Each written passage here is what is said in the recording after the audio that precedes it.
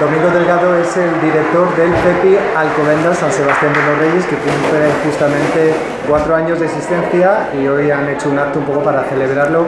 Pero habrá gente que diga, bueno, ¿y qué es exactamente un CEPI? Domingo, ¿qué es? Bueno, pues un CEPI es una sigla, que quiere decir Centro de Participación e Integración de Inmigrantes.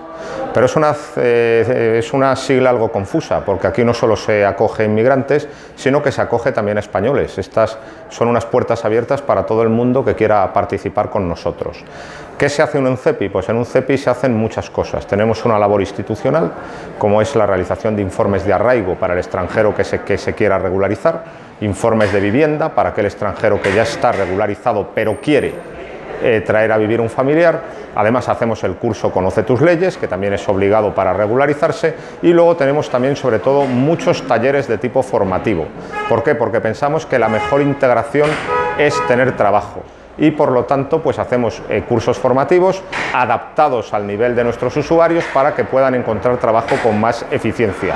También tenemos atenciones individualizadas tanto en el área jurídica, en el área laboral, en el área psicológica y por último también tenemos una gran actividad de tipo cultural porque también pensamos que sí, eh, lo más importante es tener trabajo, es la mejor forma de integrarse, pero también está muy bien divertirse, porque eso pone en relación a los inmigrantes con la gente del entorno y por lo tanto tienen un enorme impacto y gustan mucho todas nuestras actividades culturales, desde eh, fiestas eh, musicales hasta visitas a museos.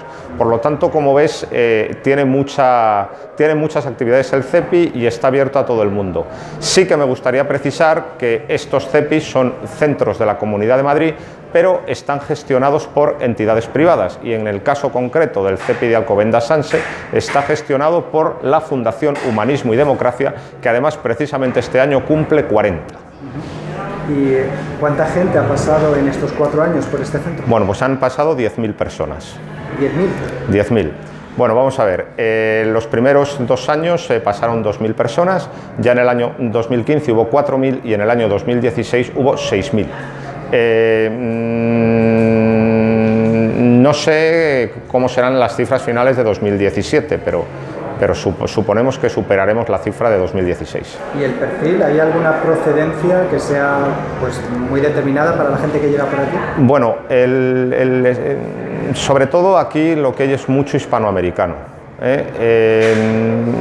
los que más son los paraguayos, seguidos de los dominicanos, seguidos de eh, los eh, hondureños y luego ya colombianos y venezolanos. Pero también hay que tener en cuenta que hay mucho colombiano que tiene DNI, que está nacionalizado y por lo tanto ya le contamos como español, eh, pero tiene procedencia colombiana. Los colombianos también tienen un peso bastante importante en el CEPI. Y luego también vienen muchos españoles de, la zona que les gusta participar con nosotros. Claro, porque por ejemplo en las actividades lúdicas ¿no? encontramos música, mm. cultura ¿no? originaria de los países de, de las personas que llegan hasta aquí y que muestran ante el público? Bueno, eh, digamos que las actividades culturales son de ida y vuelta. Eh, acabamos de ver, por ejemplo, demostraciones de, de, folclore tradicional colombiano, eh, pero también llevamos a los colombianos al Museo del Prado. por lo tanto, es digamos, una interacción de ida y vuelta para que los españoles aprendan la cultura de los otros lugares, pero también los que vienen de otros países aprendan nuestra cultura. Pues Domingo Delgado, eh, director del CEPI San Sebastián de los Reyes Alcobendas. Eso es. Gracias. Gracias a usted. Gracias a usted.